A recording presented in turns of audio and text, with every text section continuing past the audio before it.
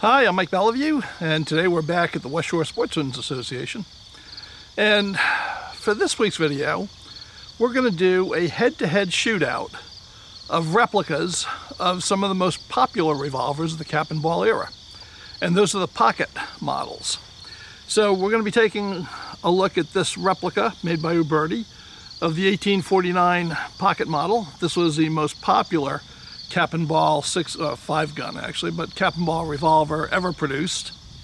And we're going to be seeing how it does head to head against its rival the 1863 Remington pocket model revolver this one made by Pietta so we've got Remington versus Colt Uberti versus Pietta what's not to like about that? So let's load them up and see how they do well, there's no doubt that these little guns were the most popular guns of the cap and ball era. The Remington New Model Pocket Revolver was made from 1865 until 1875, uh, though most of them were actually made as cartridge conversions, uh, 32 caliber cartridge conversions. But about 25,000 were made in all. And the Colt 1849 Pocket model is the most popular cap and ball revolver made in the 19th century. It was made from 1850 to 1873, and over 280,000 of these little guns were manufactured. Now, unfortunately, I don't have originals of these pocket models to use in the shootout. So we're going to be using replicas made in Italy.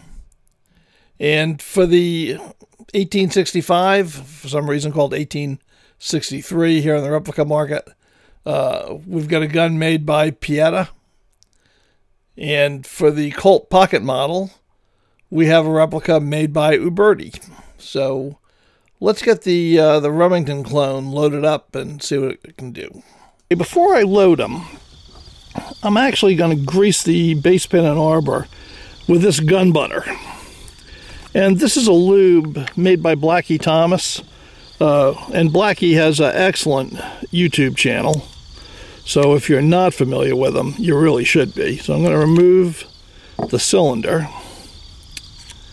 And I'm just going to put some of this on the pin. And then we'll put the cylinder back in. And we will see how that carries us through. Gotta get it lined up. Hold on. There we go. Little guns, hard to get them lined up. So we'll see how that carries us through with, uh, you know, keeping it from binding up from the fouling.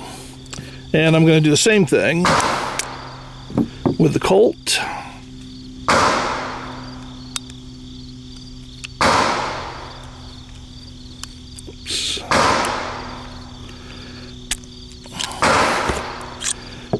The barrel. And I'm just to butter this up.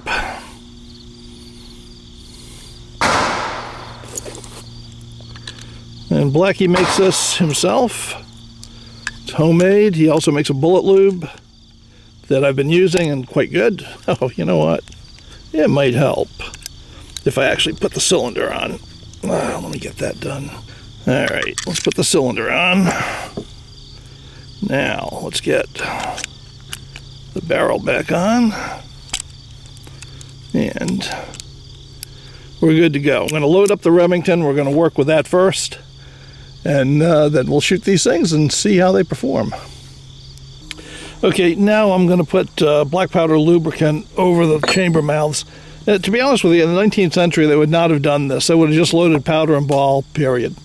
But they also did not expect to be shooting them as much as I'm going to shoot them today uh, because reloading was so slow. If you're in a fight with this gun, you were basically shooting at once, you know, five shots.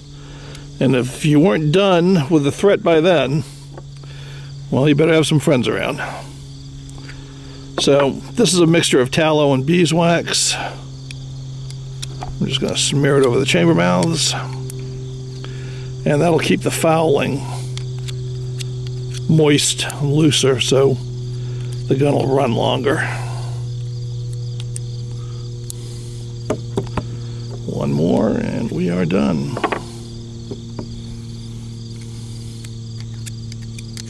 There we go. Okay, now we got to cap it.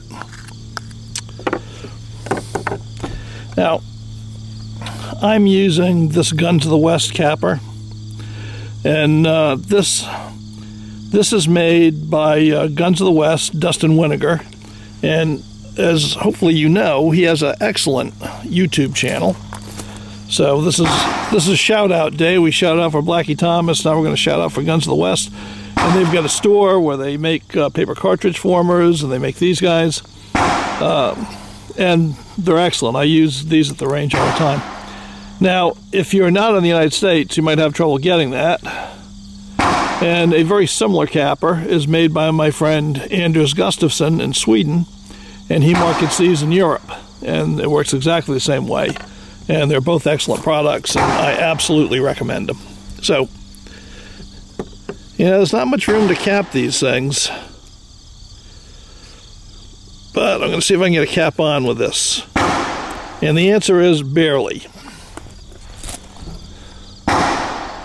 Push it on with uh, with a dowel.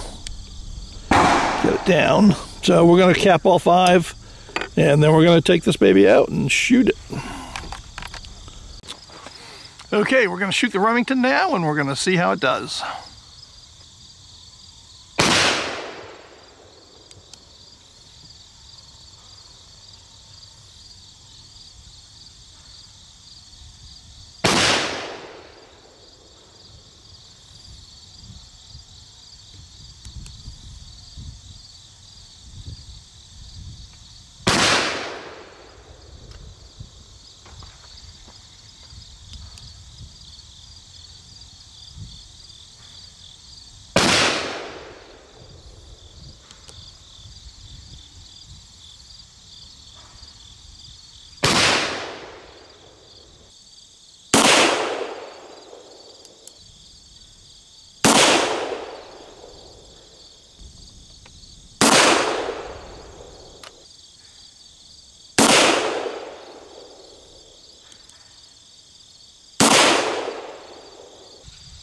Okay, now let's take the Colt 1849 pocket out and give it a spin.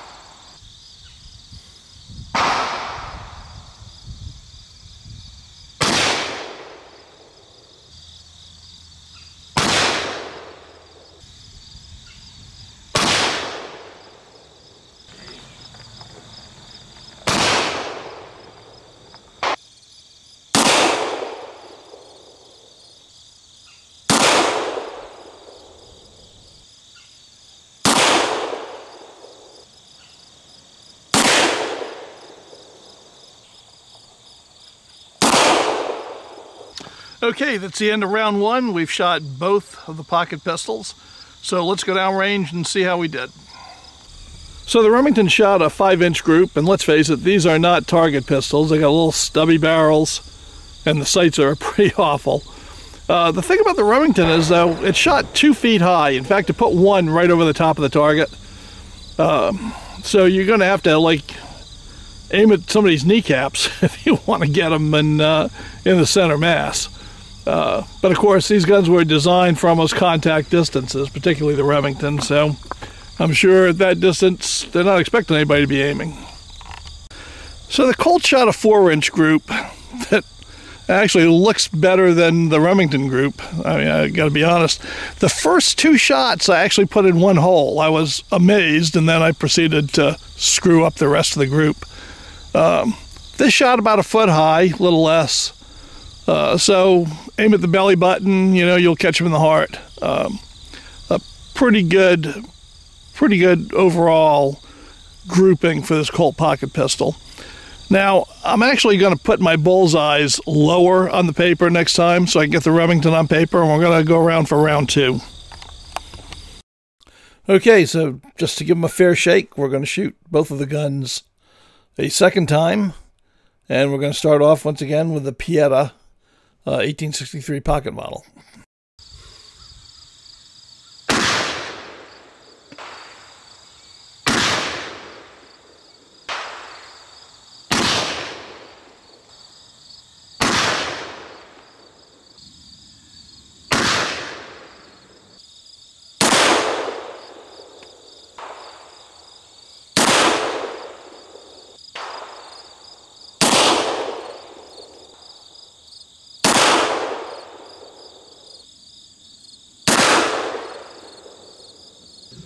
Colt round two.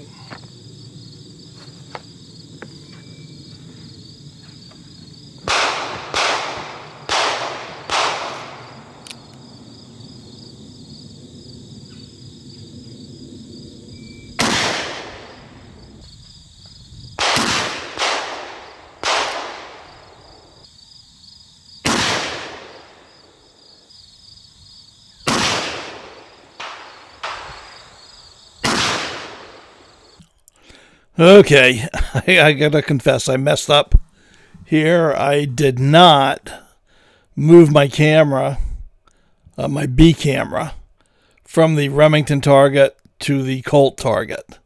So you won't have uh, you won't have the film of the bullets hitting the paper. So you're just gonna have to take my word for it that I didn't run down and poke him with a stick. I, I, am sorry.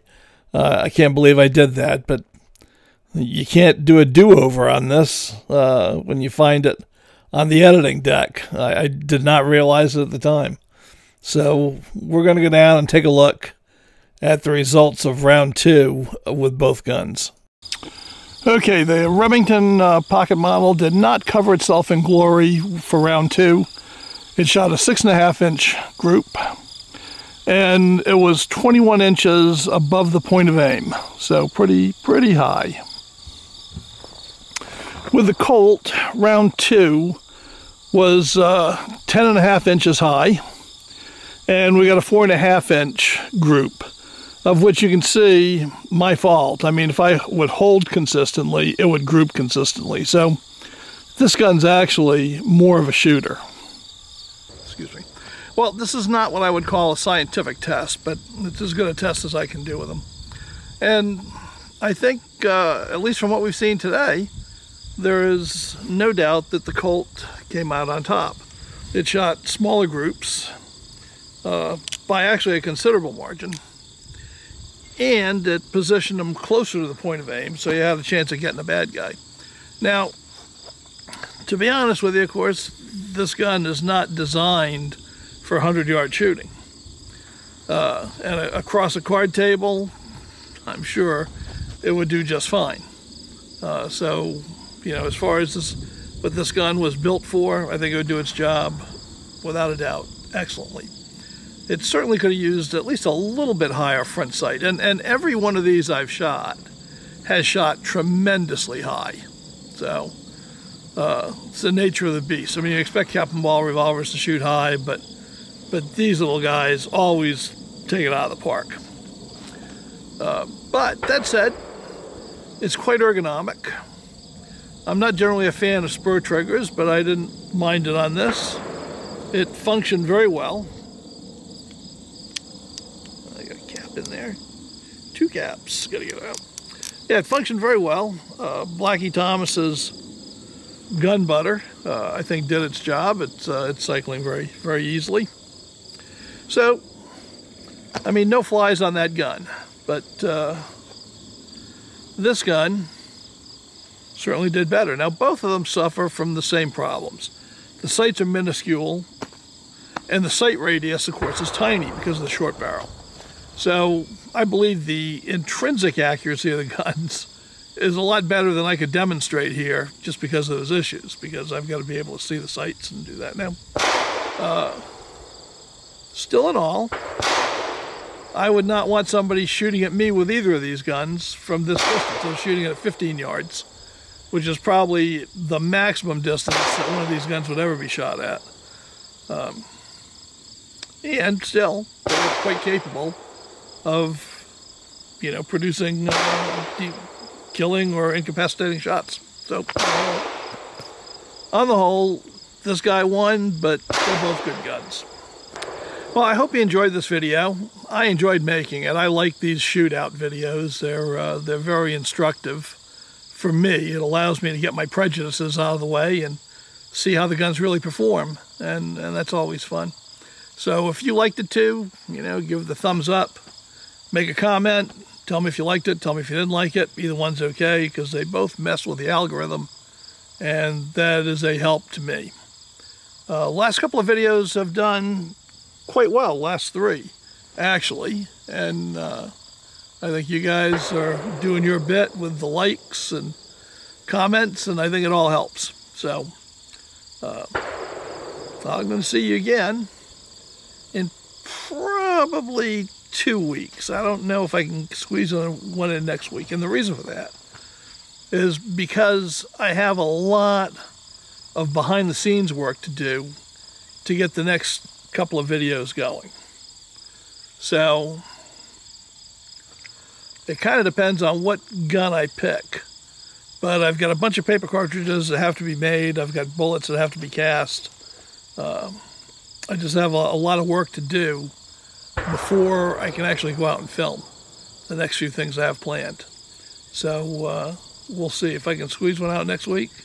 I'll certainly do that. But if not, I would say within two weeks, you'll be seeing me again. So until then, bye.